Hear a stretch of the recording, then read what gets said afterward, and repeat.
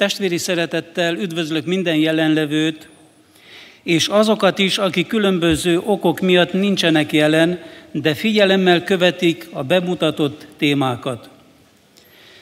Jehova minden jó és tökéletes adomány forrása. Ő megajándékozta az emberiséget egy felbecsülhetetlen értékkel, az ő megírott szavával, a Bibliával, vagyis a Szentírással, mely által minden intelligens teremtmény megismerheti őt, mint a világegyetem teremtőjét, az ő szándékát teremtményére vonatkozólag, valamint az ő értékes ígéreteit az engedelmes emberek számára. Ebben a könyvben találjuk megírva Jehova alapszabályait és törvényeit, amelyek nem változnak. Ez feltárja Jehova felsőbségét, melyet sátán és az ő képviselői kétségbe vonnak. Sőt, ennél több, a Biblia bemutatja, hogy Jehova Isten az ítéletet nem hajtja végre anélkül, hogy előre ne figyelmeztetne erről. Megfigyelhetjük a Szentírás beszámolója által, hogy az első világ feletti ítéletet is csak figyelmeztetés után hajtotta végre. Feljegyezve találjuk azt is, hogy Sodoma és Gomora figyelmeztetve volt. Az ókori Egyep- Egyiptom hasonlóképpen. Azonban ez a dolog nem azt jelenti, hogy maga Jehova személyesen jön és figyelmeztet, hanem ő elküldi az igazság üzenetét ember alakú hírnökök által, az ő szolgái által, akiket az érdekeltek meg tudnak hallgatni. A Jeremiás 7. részének 13, 10, 25 és 28. versének megfelelően. Jehova értesítő üzenete ritkán volt figyelembe véve és meghallgatva, és csak kevesen tanúsítottak figyelmet ez iránt. Jehova az abszolút igazságosság istene, hogy ezt jobban megértsük. Egy rövid áttekintést teszünk az emberiség történelme felett a Biblia beszámolói által, és akkor meg tudjuk érteni a nagy teremtő által tanúsított végtelen szeretetet az ő teremtményei iránt. Mózes első könyve beszél nekünk Kainról és Ábelről, az első emberi család fiairól. Mivel az ördög minden áron véghez akarta vinni az ő tervét, az Isten nevének gyalázását, ő elhitette Évával, hogy az ő első, első fia lenne, az első Mózes harmadik részének 15. versében megjövendőlt mag. Sátán ügyelt arra, hogy Kainban kialakuljon egy gonosz, nagyra vágyó, büszke szelleműség az ő szívében. Ő törekvő volt, mint az ördög, vallásos utat követett, az igazsággal ellentétest. A beszámol az első Mózes négy részének kettőtől terjedő versében.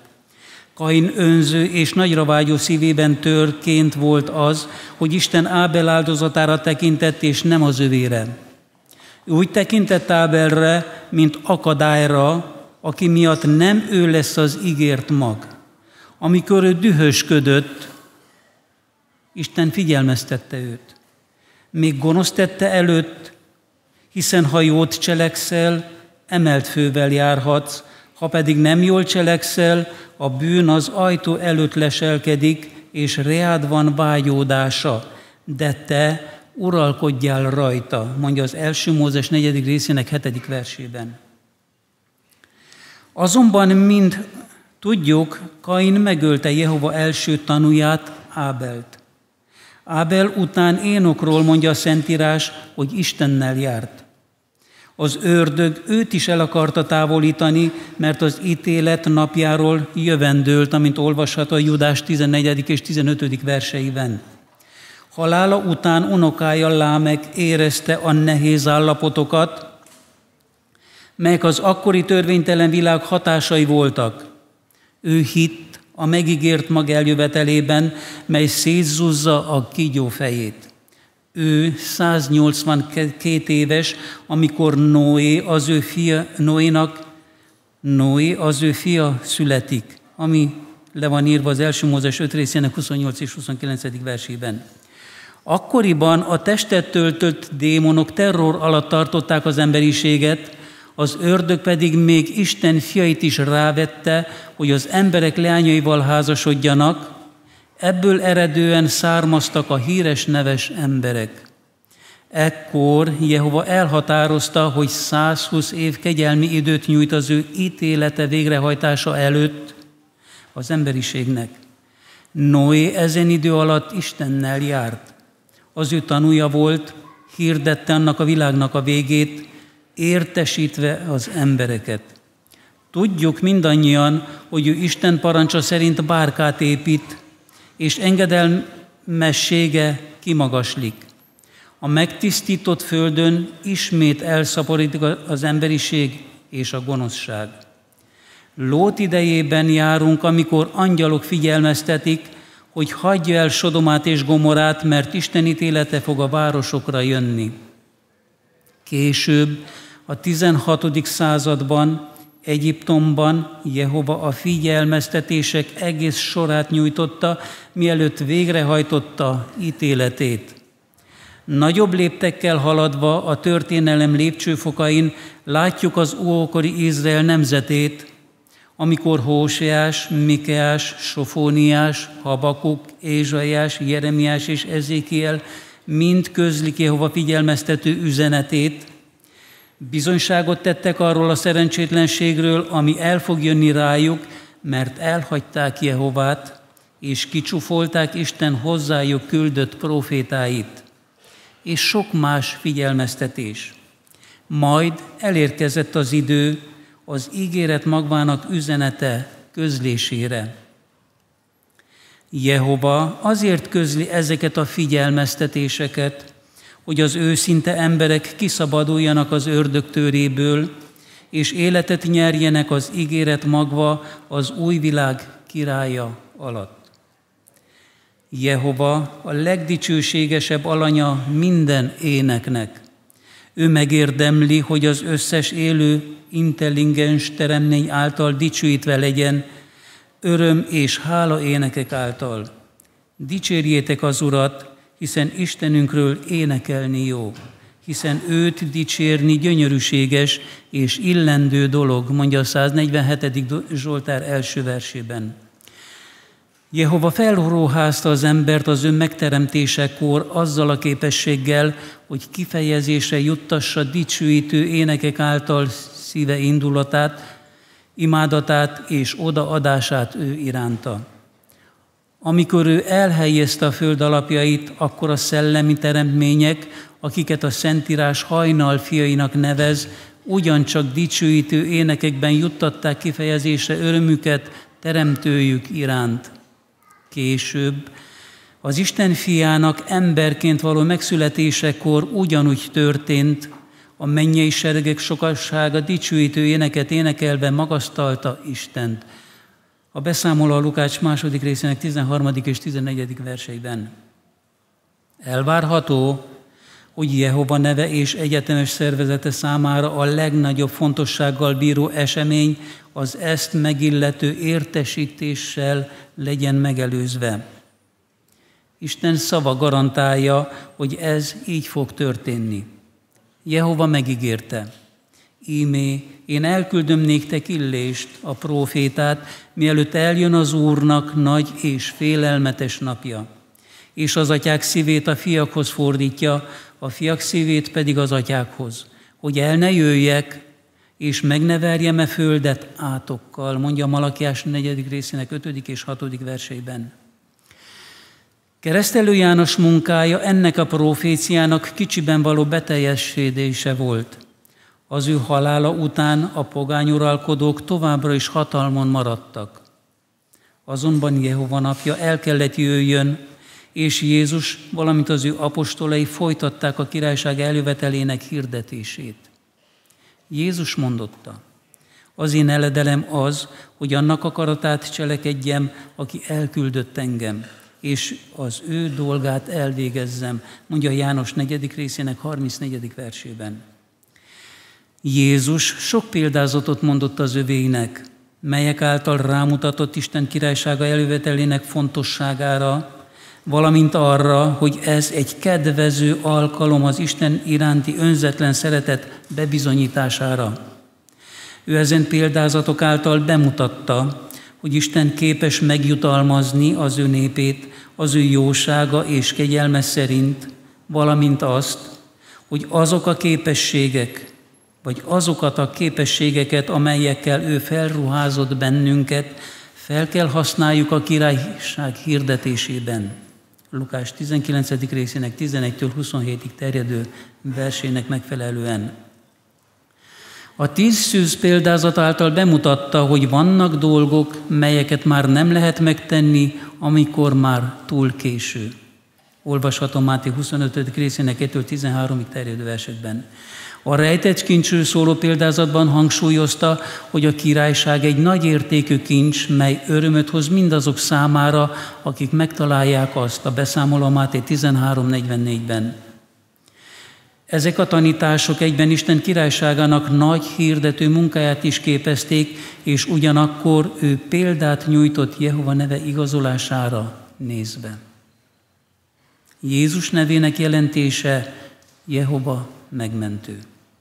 Az Illés és Elizeus munkája Izrael előképes királysága idején, a keresztelő János munkája, a Jézus és apostolaié mind együtt elé árnyékolták a nagy munkát Jehova királyságának megalapításával kapcsolatban. Ez a munka romboló a vallás számára figyelmeztet, hogy a királyság megalapítatotta, megalapítatott a király Krisztus Jézus vezetése alatt vele egyesülve vannak az ő testetagjai és hűséges maradéka. Illés, akit Jehova megígért, hogy a meghatározott időben elküld, nem egy személy, hanem az ő szolgájának egy egyesülete a földön, az ő fejük Krisztus Jézus vezetése alatt cselekedve. A királyság megalapításakor a mennyben szolgál, megszólalt Isten hárfájának nyolcadik húrja. Mivel ez a fontos esemény nagy jelentőséggel bír úgy a mennyben, mint a földön élő emberek számára, annak ellenére, hogy kevesen óhajtják tudomásul venni ezt. Ez napjaink legfontosabb hirdetett üzenete. Az emberiség nagy többsége lelkesen fogadta a 20. század nagy vívmányait, de közülük csak kevesen fogadják az Isten hűséges tanúi által hirdetett üzenetet. Visszautasítva azt, hogy tudomásul vegyék a hirdetett üzenetet, az emberiség legnagyobb része nem értesül arról a kegyelmi ajándékról, melyet Isten készített az ő szeretett fia, Krisztus Jézus által. Az Úr Jézus az ember legjobb barátja. Ő az életét adta, hogy az ember az örök élet áldásaiba léphessen. János 15. részének 13. versének megfelelően. A zsidók évszázadokon át várták a messiás eljövetelét. A messiás, vagyis a Krisztus név jelentése felkent. Az egész emberiség mind a mai napig a sötétben tapogatózva várja a könnyebbülést a gond, fájdalom és nyomor alól, de nem ismerik az ő eljövetelének módját. Róma 8. részének 19 és 22. versei. Az általános álláspont az Isten királysága iránt valóban zavaros. Az embereknek különböző véleményük és elképzelésük van Isten királyságának eljöveteléről. Egyesek szerint ez abból áll, hogy halálokkor, halálukkor a mennybe mennek, míg mások emberek által remélik megvalósítani ezt, vagy hogy a teremtményekben van Isten királysága. Azonban az őszinte kutató nem kell feltevésekre és elméletekre hagyatkozzon. Rendelkezésünkre áll a Szentírás bőséges bizonyítéka, és így minden kétség ki van zárva örökre. Isten profétája megjövendölte egy igazságos uralkodó eljövetelét, és hívják nevét csodálatosnak, tanácsosnak, erős Istennek, örökké valóság atyának, békesség fejedelmének. Uralma növekedésének és békéjének nem lesz vége, a Dávid trónján, mondja az Ézsaiás 9. részének 6. és 7. verseiben. Az örökké valóság atya megnevezés rámutat, hogy lesznek leszármazottak, akik az örök élet kiváltságaiban részesülnek azon igazságos kormány vezetése alatt. Visszapillantva a múltba, az előképes nép idejébe, még jobban megértjük, mit is jelent ez az Isten iránt odaadást tanúsító hűségesek számára. Visszapillantva a múltba, igen, Jehova egy jó kiváltságokkal teli kezdetet adott Izrael nemzetének, azonban a nemzet eltért a tiszta istenimádattól. Később Jákob megáldja Judát, hogy el nem múlik tőle a fejedelmi pálca. Majd Jehova megköti Dáviddal a Juda unokájával a királyság szövetséget. Dávid uralkodik az Izrael felett, az első krónika 28 részének negyedik verse szerint. Következett Dávidi győzelme Sion városa felett, megerősíti azt, elnevezi Dávid városának, oda helyezi királyi székhelyét.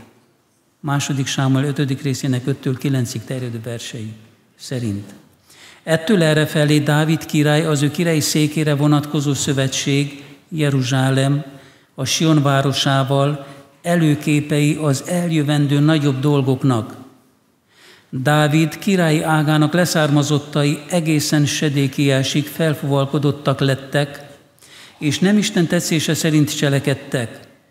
Jehova kijelentette a proféciát az eljövendő igazságos uralkodóra vonatkozólag, olvasható erről az Ezékiel 21. részének 25-től 27-ig terjedő verseiben. A proféciának megfelelően Krisztus előtt 607-ben megszakítatik a királyi ág leszármazottan uralkodása, de a királyság szövetség fennáll.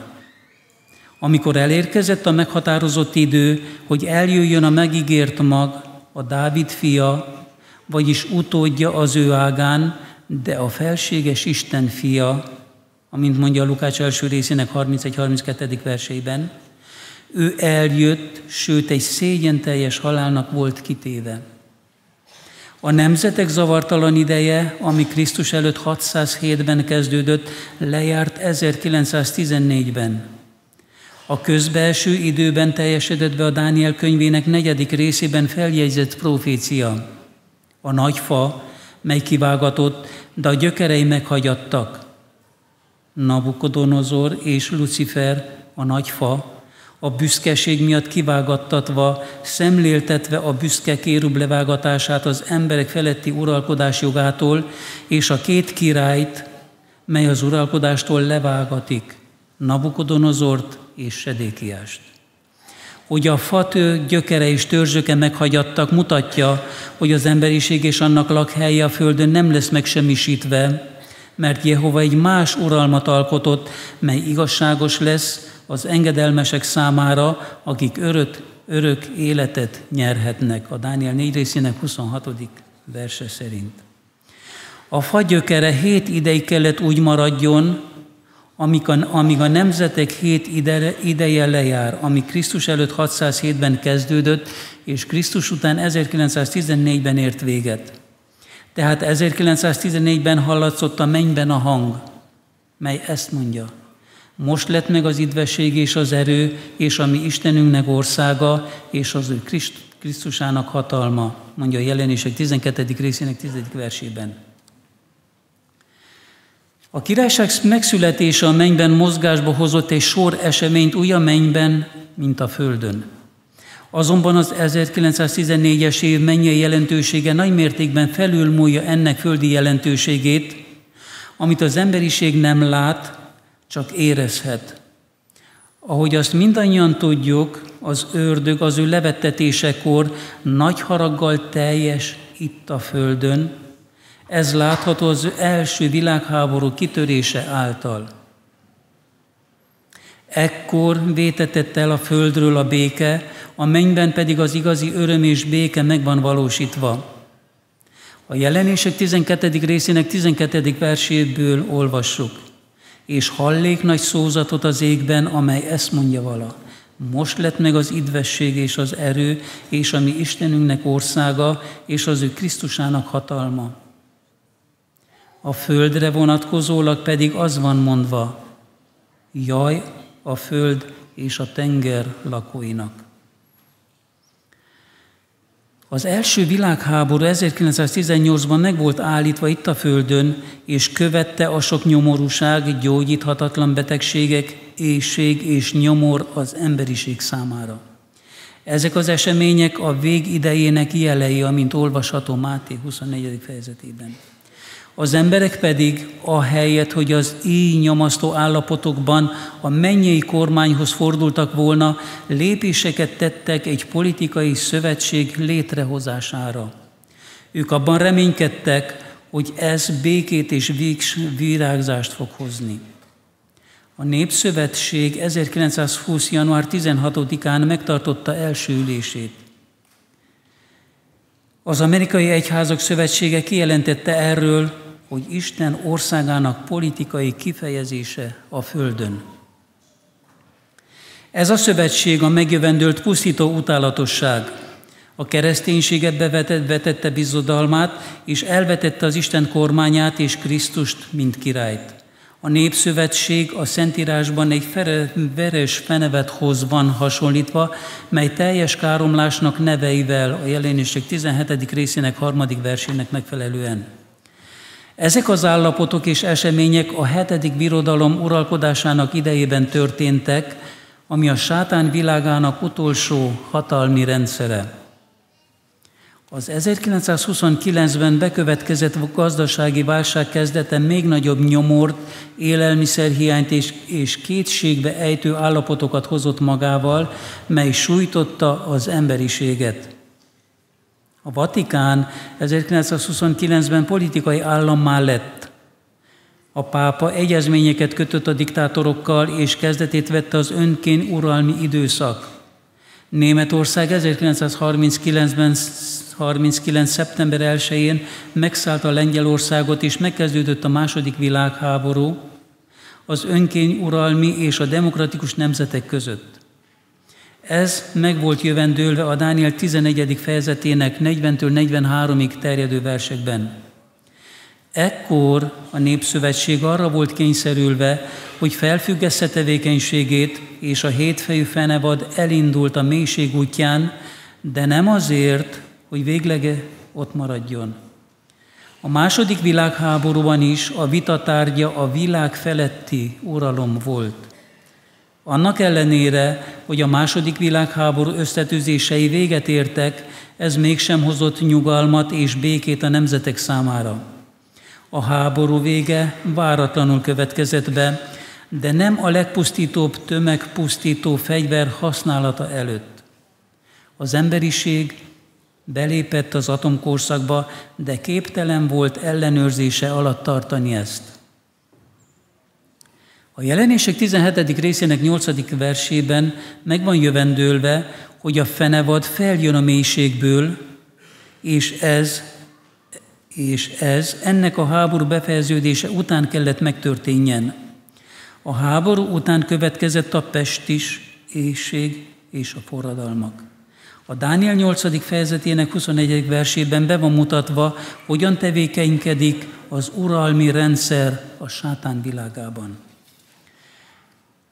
Vajon, mivel az emberiség egy nagy jajjal szembesült, Isten félőbb lett? Semmiképpen sem. Azonban mi?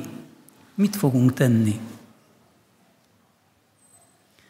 Megértve a jövendőléseket, tudjuk, hogy a világ rosszabbról rosszabbra fog menni.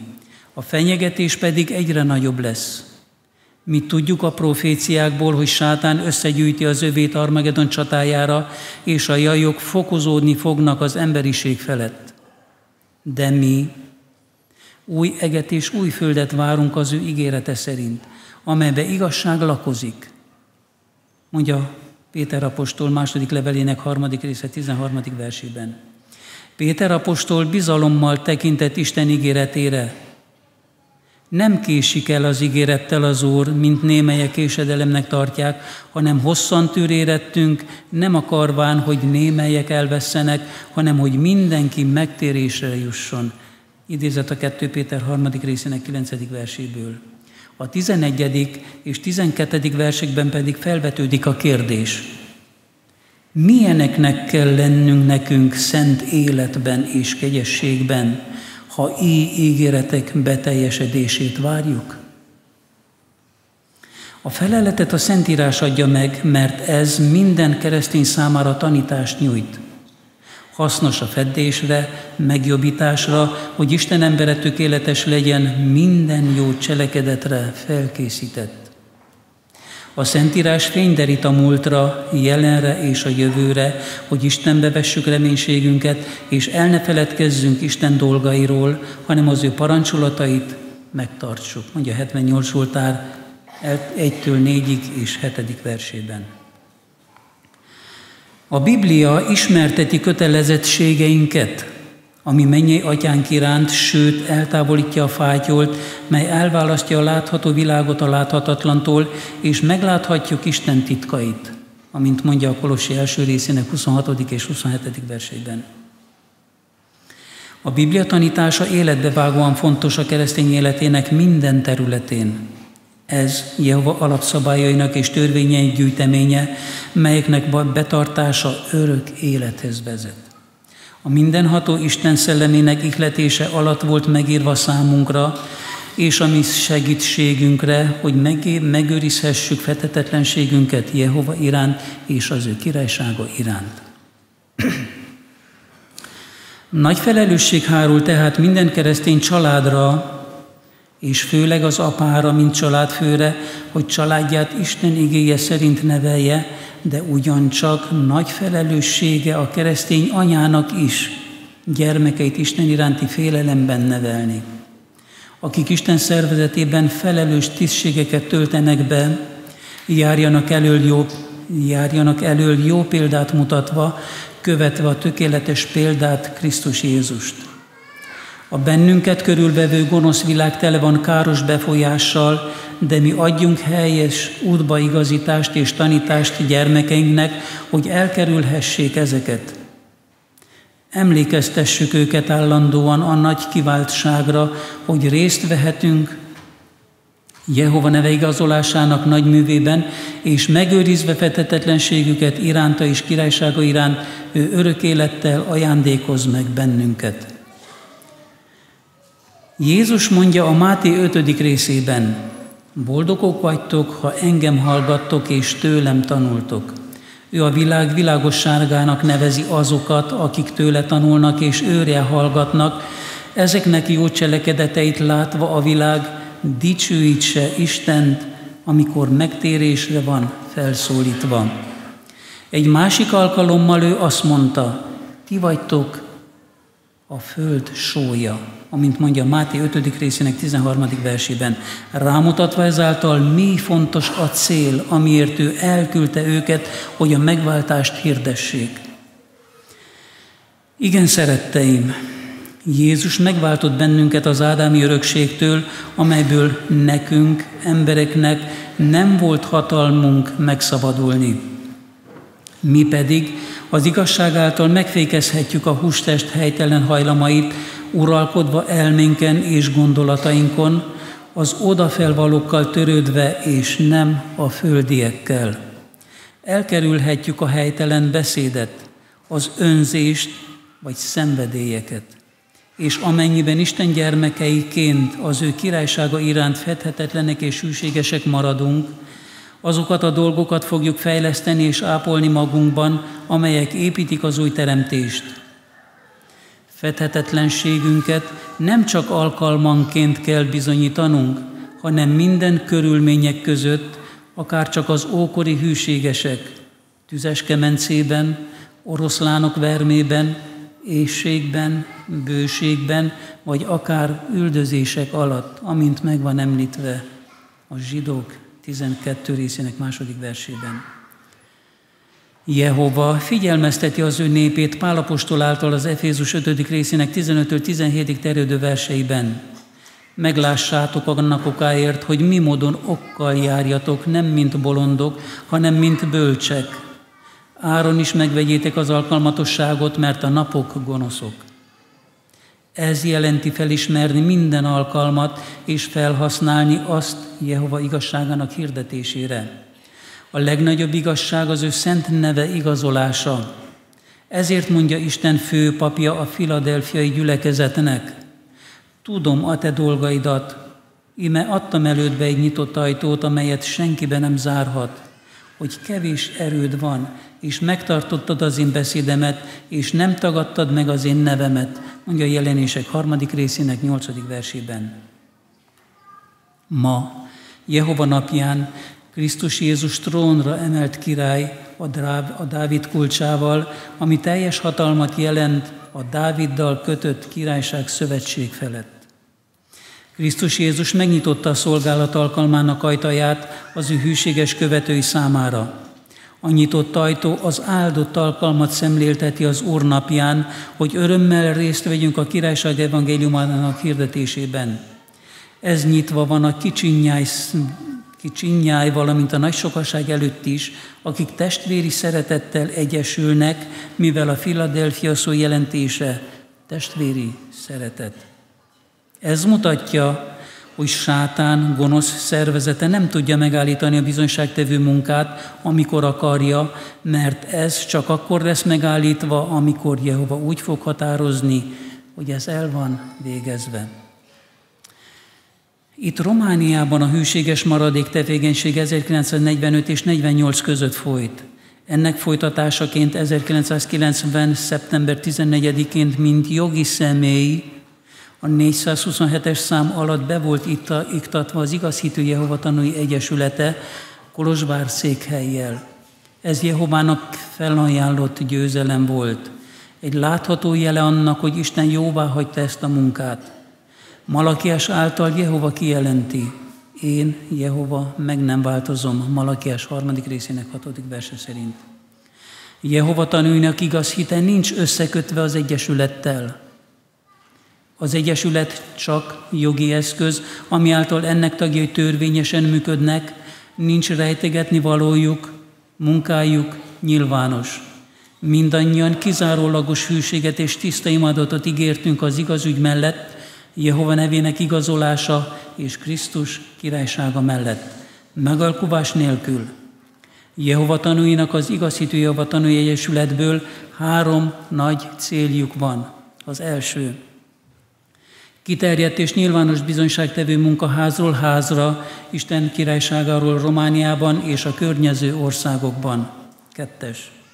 Nyilvános előadások, kongresszusok és konferenciák megszervezése a Biblia igazságairól, Isten tiszta, igaz, tiszta igazságáról, Sionban levő királyán keresztül, melyet a hűésből szolgáltal az alkalmas időben megmagyarázott, és az Egyesület tagjai hirdetnek.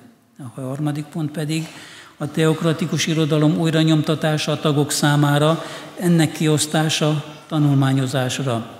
Ezek Jehova törvényei és alapszabályai, melyeket a kommunista rendszer elkobzott. Ahogy azt mi kijelentettük Isten előtt, mi mindent megteszünk, amit Jehova mondott. Az Egyesület 1990-től hirdeti Krisztus megalapított királyságát, Jehova nevét és az ő bosszúállásának napját. Ebben részt vesznek a csoportok és az úttörők. Helyes tehát feltenni a következő kérdést mindenki saját magának. Mit jelent számodra a jelenlegi szabadság? Az igazhitű Jehova Tanú Egyesület számára az elmúlt évek szabadsága a következőket jelentette. 1992. május másodikán egy nagy kongresszus. Öveszt fel magad és mondd az igazságot. Ott kimagasló volt a Róma 13. részéből a felső hatalmasságokra vonatkozó téma. 2007. októberében Romániába látogatott Raimond Franz, ő tagja volt a Broglin testületnek 1940-től egészen 1980-ig. A vele folytatott párbeszédből az igaz hitben levő tagok megérthették, a hit elhagyását és a téveigés szelleméhez való csatlakozást. Azonban mi felkent királyunkra tekintünk, mert tisztában vagyunk azzal, hogy a királyság hirdetésének szabadsága korlátozott idő, mert megvan írva. Mert a dolgot bevégzi, mivel rövidesen végez az Úr a földön, mondja a Róma 9. részének 28. versében.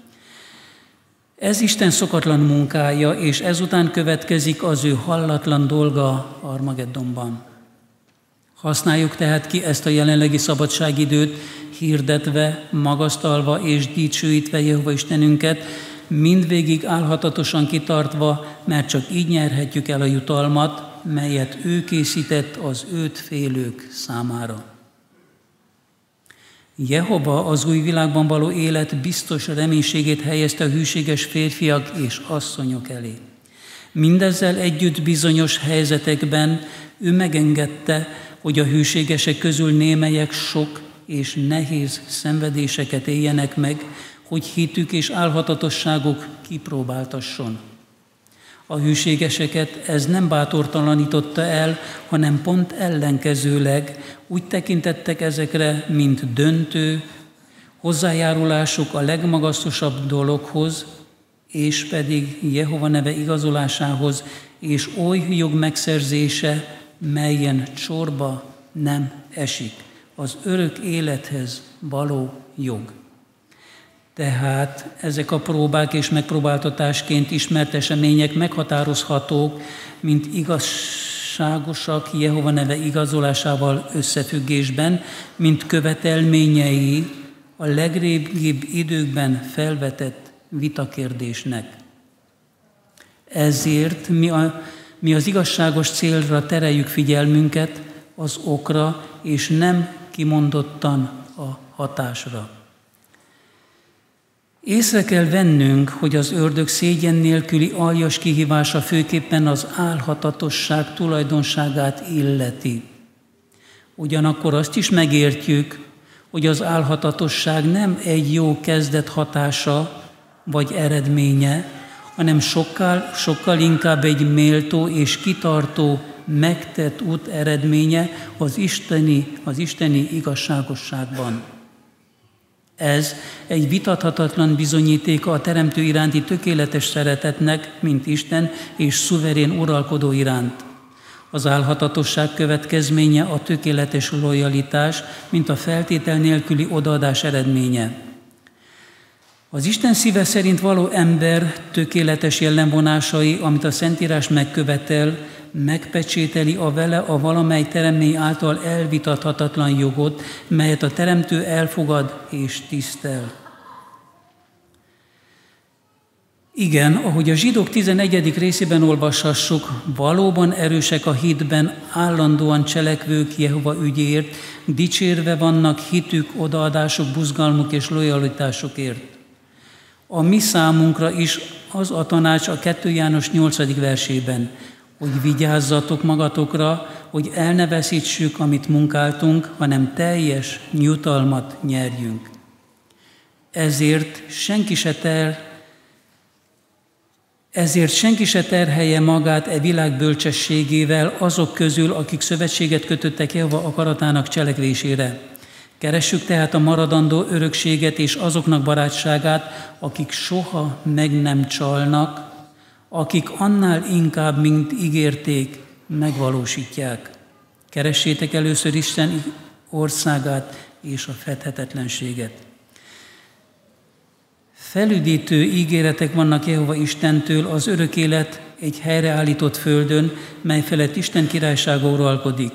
Legyünk tehát tevékenyek, kicsik és nagyok, mint egységes család a tiszta és szeplőtelen imádatban az élő Isten iránt. Aki szereti Istent, az igyekszik az ő követelményeihez igazodni, álhatatosságot bizonyítva az ő szolgálatában. Nagy megtiszteltetés ellenállást szenvedni az Úr Isten ügyéért, vagy másképp mondva megpróbáltatásunk időt igényel. A Szentírás beszámolója bemutat számos oly példát, amikor az ókori hűségesek álhatatosságok próbája alatt győztesek maradtak, mint például József, Jobb, Mózes és sokan mások. Ezért, kedveseim, ti azért bátorságosak legyetek, kezeiteket le ne eresszétek, mert a ti munkátoknak jutalma van, mondja a 2 Krónika 15. részének 7. versében. Jehova megígérte, gyalázatotokért kettős jutalmat vesztek, és szidalom helyett örvendenek, örvendenek örökségükben, ekként két részt örökölnek földükben. Örökös örömük lesz. Mondja az Ézsaiás 61. részének 7. versében. Ímé Jehova Isten jő hatalommal és karja uralkodik. Ímé jutalma vele jő, és megfizetése ő előtte, mondja az Ézsaiás 40. részének 10. versében. Mi ezen erős okból a felséges Isten odaadó szolgái óhajtunk maradni örökre.